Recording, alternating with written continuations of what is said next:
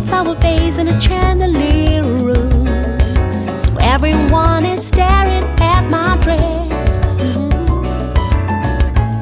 And my name doesn't have more than two syllables. And my plate of order is a mess. Yes, it is. I'm a paperback girl in a crocodile